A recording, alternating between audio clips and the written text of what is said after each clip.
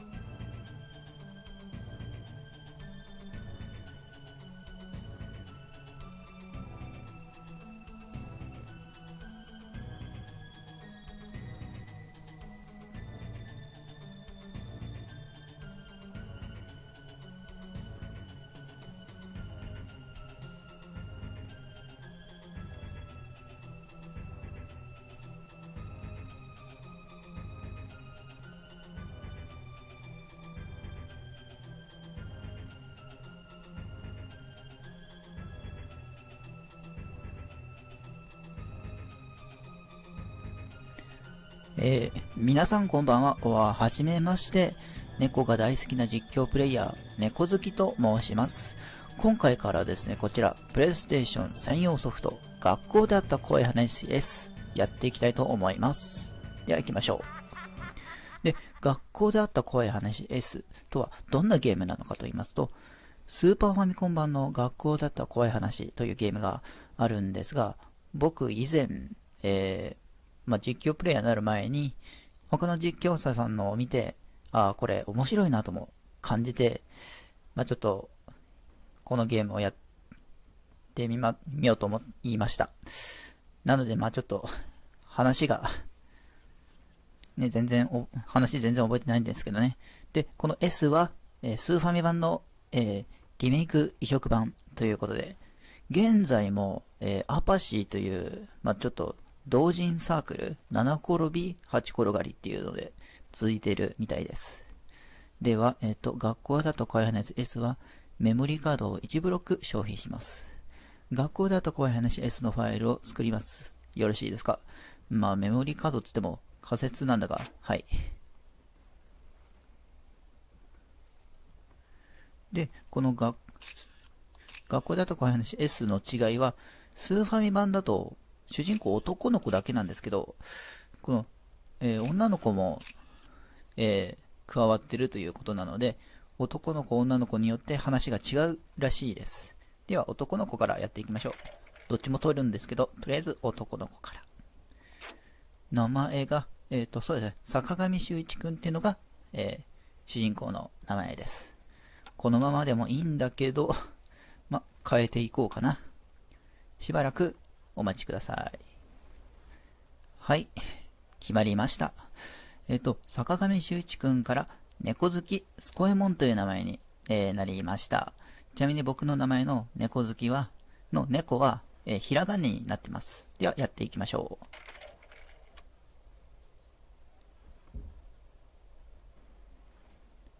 う。ね、結構あの、わはははってちょっと聞こえると思うんですけど、これは仕様みたいですね。よし。これで始めるんだな。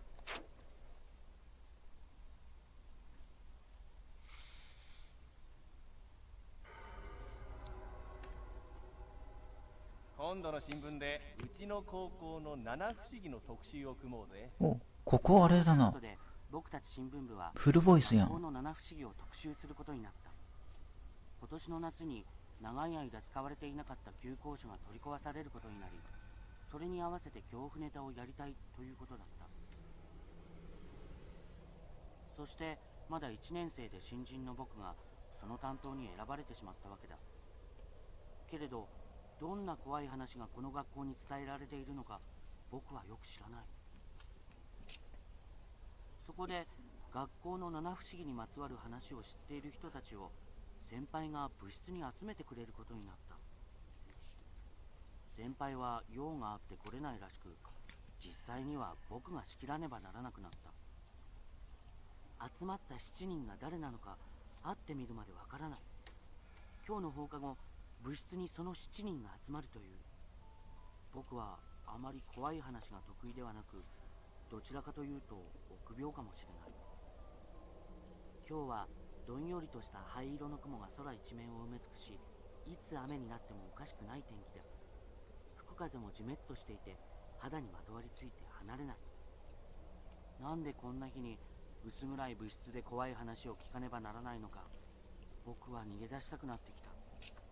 それでも自分の意志とは反対に足が物質の方へ勝手に向かっているのは心のどこかで怖いもの見たさという思いがあるからだろうか。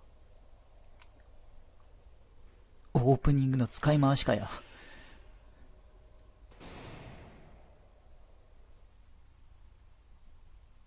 ここでタイトルか。学校であった怖い話 S。でですね、このゲームはサウンドノベルのゲームになっておりまして、これテキストが出てくるんですね。あと、えー、キャラクターとかが、えー、まあ、喋るんですけど、できる限り、えー、僕がそのキャラクター演じながらやっていこうと思います。下手くそだと思うけど、ご了承ください。ね、感情を込めまくったりとかしてね、やっていこう。と、物質のドアを開けると、一斉に12個の目が僕の方を見た。物質の真ん中に置かれた大きなテーブルを囲むようにして、6人の男女が静かに座っていた。あまりの静けさに、僕は物質のドアを開けるまで誰もいないと思ったほどだ。怖いよね、なんかさっきの。光ってるよ、ピカーンってね。6人は僕を確かめると、テーブルの一点を注目するように顔を落としてしまった。僕の知っている顔はなかった。学校が大きいから同学年でも見たことのない顔があっても不思議ではない。そうですね。えっ、ー、と、設定上だと、1学年に500人ぐらいいるマンモス校っていう高校が舞台です。集まっている6人も雰囲気からそれぞれ見ず知らずのように思える。気まずいな、本当に。6人？先輩の話では、7人に声をかけるということだった。1人遅れてんな。何やってんだろう。まさか、1人で猫カフェに行ってるのか？ということは、まだ1人来ていないのだろうか？僕はとりあえず空いている席に座った。誰が喋るということもなく、何とも気まずい無言のと時間が過ぎていく。僕が話せばいいのだけれど、何とも話しづらい雰囲気だ。こういうの嫌なんだよね、ほんと俺も。みんな下を向いたまま、ピクリとも体を動かさない。そして、来るべきはずの7人目も一向に来る気配がない。ただいたずらに時間だけが過ぎていく。いつまでもこうしていてもどうしようもない。そうだよね。時間無駄にしちゃダメだよね。あ、これはスコエモンが喋ってるんだ。よし。あの、皆さん、お忙しい中集まっていただいたと思いますので、そろそろ始めたいと思うのですが、僕は思い切って声をかけてみた。これ誰が喋ってんだろうな。まあいいや、アドリブ、アドリブ。七人集めると聞いていたんだけれど、君が七人目、七人目なのかい？それとも、君は僕たちの話を聞く新聞部の人なのかい？中の一人がうつむいたまま目だけを僕の方に向けてぼそりとつぶやいた。せめて正面見よう。なんて陰気そうな人だろう。僕は彼に見られただけで背筋が寒くなるのを覚えた。はい、僕は新聞部の猫好きスコエモンと言います。今日は皆さんの話をお伺いするように、先輩の日野さんから言われています。そうですね、この日野さんっていうのが、この6人を集めた、えー、人物です。よろしくお願いします。僕が答えると、みんなは黙ってうなずいた。ちょ、もうちょっと喋ろう？ダメかな？それきり何も話してくれない。あの、どうでしょうか？このまま待っていても仕方がないので、そろそろ始めませんか？僕はしびれを切らしてもう一度尋ねた。いいですよ。ほんと誰が言ってんだろうね、これ。一人がいい、残りの人たちはゆっくりとうなずいた。うん。俺こういう怖い話の集会とか行ったことないからわかんないんだよね。一体彼らはどんな怖い話をしてくれるのだろうか。物質の空気が妙に重く肩にのしかかっているような気がしたのは僕だけだろうか。立て付けの悪い窓から漏れる生暖かい隙間風が僕の方を舐めるように吹いている。何か得体の知れない気味の悪いものがここにいて何かが起きるのを待っているように思えてならない。そんな言い知れぬ恐怖を感じさせる何かがここにはある。なぜだろう？なぜそんなことを思うのだろう？息をするのさえ苦しく思える。こんな気持ちは初めてだ。僕はそんな思いを断ち切るようにして大きな声で言った。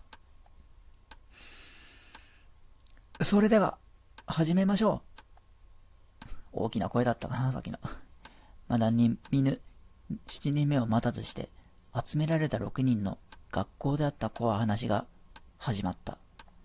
なんだか噛んでるような気がするけど、気にしない。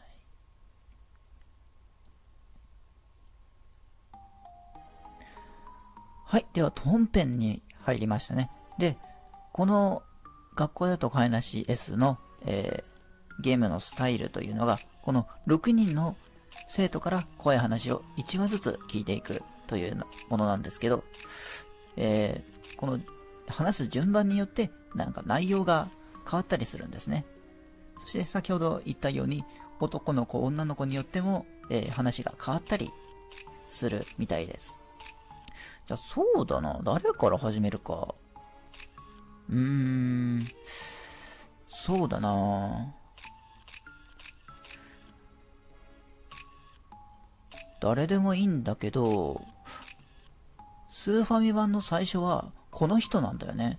だから、今回もこれ、この人から言ってみようかな。じゃあ、えっ、ー、と、新藤誠さんの話を聞いていきましょう。新藤さんの、まあ、キャラクター像は、まあ、真面目な、な、兄貴分キャラクターですね。やっていきましょう。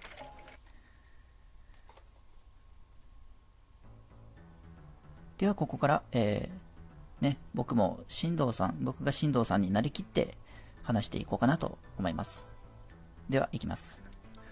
それじゃあ、俺が最初の話をしよう。俺の名前は新藤誠、3年 D 組だ。みんな、旧校舎に行ったことあるかい？今は使われていないけれど、一度くらい行ったことあるよな。僕、初めての実況だからこれ、行ったことないよ。立ち入り禁止だし、ボロボロで薄気味悪いけれど、あそこは冒険するには最高だ。昼間だってゾクゾクしてくるぜ。歩くと今にも抜けそうな床がギシギシなってさ。それが反響して、まるで他にも誰かが歩いてるような錯覚に陥るんだ。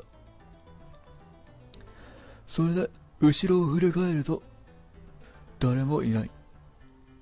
みんな、そういう経験あるだろない？猫チゲはどうだ？休校舎に行ったことあるんだろそして、薄暗いあの廊下を歩いたことあるだろうん、初めての実況です。なので、ないよ。ないのか？お前、勇気ないな。うちの学校の生徒だったら、一度あそこに行かなきゃダメだ。あそこには霊がうよよいるんだぜ。いやん、それは怖いから行きたくないな。肝試しにはもってこいだからな。よし、今度俺が連れてってやろう。特に9号車の2階の長い廊下を抜けたところにある3階へと続く階段。あそこは温度が低いのか、夏だってひんやりしていて、まるで冷蔵庫にいるみたいなんだ。それは、寒すぎて腹ピーピーになりますよ。それに、あそこは日が差さないから、昼間でも暗いし、人がいるなんてわからないから、授業をサボるのには絶好の場所だぜ。そんなこと言っている進藤さんはサボっているんだな。冬は寒すぎるけどな。で、その鏡の踊り場に大きな鏡があるんだよな。姿見っていうやつだ。全身の映る縦長の一枚鏡。あの鏡、変な技があるんだよ。もちろん、俺は信じちゃいないさ。いや、信じていなかったっていうのが正解だろうな。あのことが起きるまではさ。その鏡の話をしてやるよ。ほう。鏡の話か。だいぶ前、俺たちの間でその鏡のことがちょっと話題になったことがある。あの鏡の前を通ると変なものが見えるとか、自分の姿が映らないとか、いろんな噂が立ったんだ。うーん。けど俺は信じなかったぜ。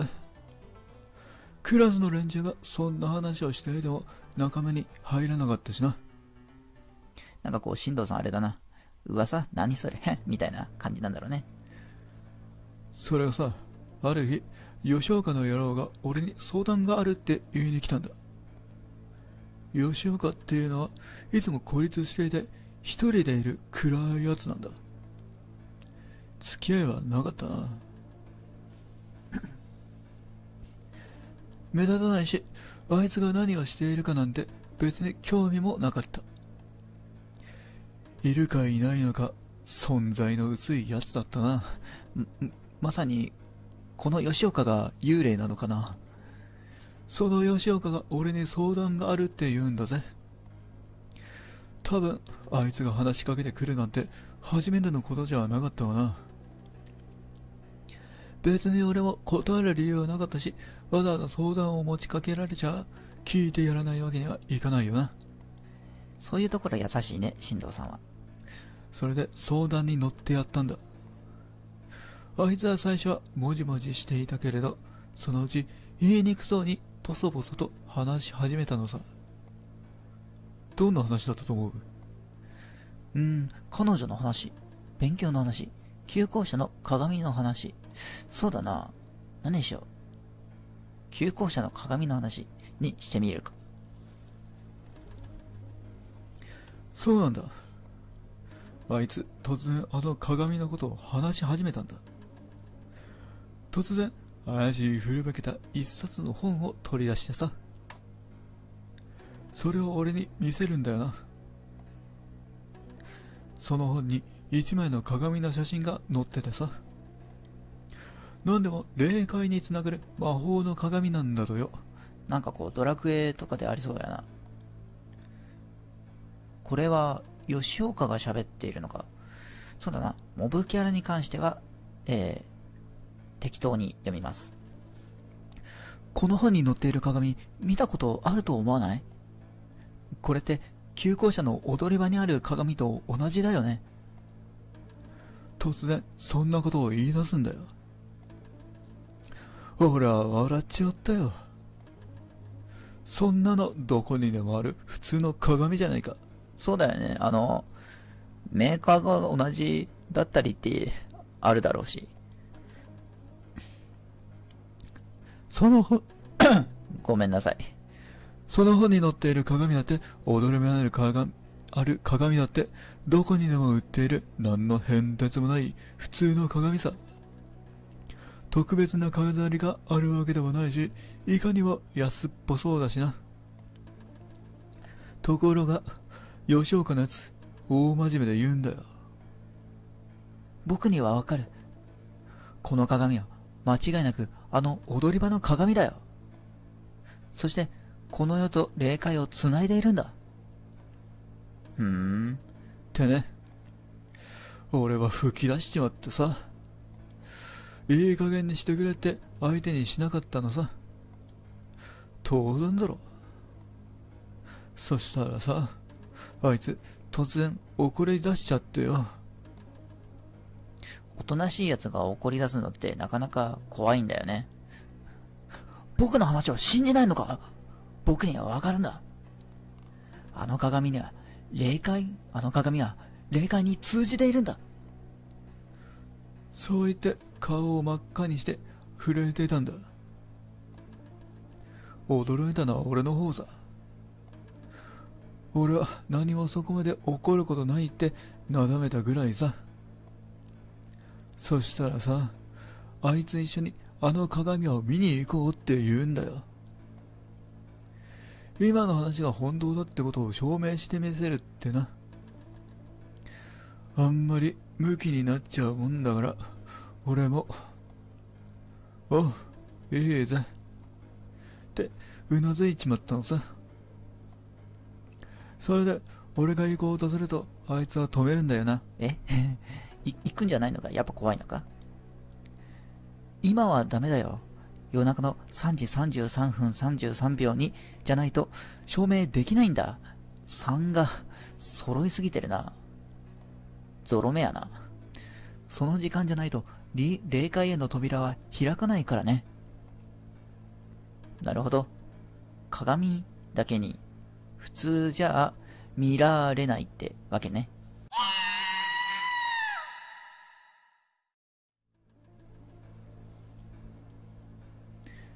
なんで、とぼけたことを言い出すんだぜ。さすがの俺も呆れちまってさ。それ以上相手にしなかったんだよ。それきり、あいつも話しかけてくることはなかったしな。ところが、どうだ？それから3日後のこと、いきなり吉岡は俺のところへ来て、今日はすごい霊気が強い日だね。なんでわかるんだよ。こういう日は絶対に成功するよ。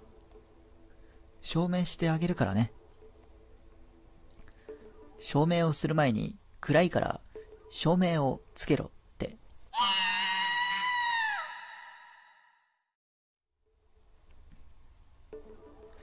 って突然言い出したんだ。それも真剣な顔でだぜ。最初、俺は何のことを言っているんだかわからないで、きょどんとしていた。まさか、あの鏡のことだなんて一瞬考えちまったよ。それで、その日の夜中、学校に忍び込もうって誘うんだ。ええー、学校に忍び込む夜中に？絶対怖いからやめとけ。おとなしい顔して大胆なやつだな。俺だって夜中の学校になんか来たことないぜ。まあ冗談だろうと思って軽い気持ちで返事したのさ。ああ、いいよ。夜中の3時に校門の前で待ってるぜ。ってね。あいつ嬉しそうにニタニタ笑っていたな。そういえば、あいつの笑った顔っていうのも、あの時初めて見た気がするよ。じゃあ普段はこういう暗い顔してんのか？もっと笑顔を絶やせばいいんじゃないか？最初で最後のあいつの笑顔さ。何この意味深のセリフ。みんなで歌おう。ゲゲゲのゲ。